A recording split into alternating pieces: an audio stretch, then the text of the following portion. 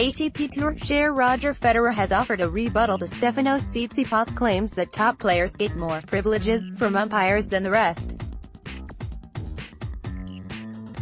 Tsitsipas made the accusation to the umpire as his Miami Open men's doubles final defeat to Bob and Mike Bryan, citing Federer's name as a specific example.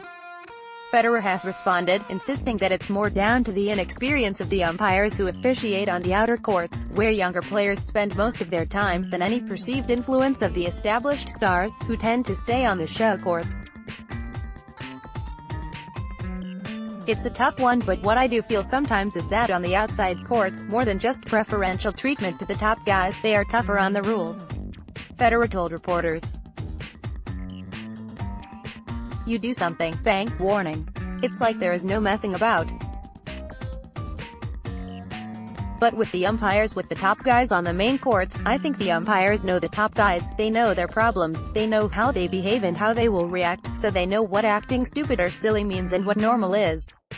So because we know each other very well, I think it's easier for an umpire to handle a top player who they know over an up-and-coming guy like Tsitsipas or a young guy and that sometimes gets lost in translation and maybe bad mistakes can happen.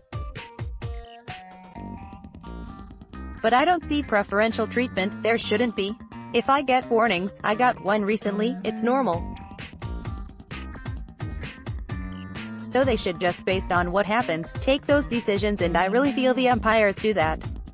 I am sorry that Stefanos feels that way. Follow us on Twitter at T365Official and like our Facebook page. More from Tennis 365, Roger Federer Stefanos Tsitsipas.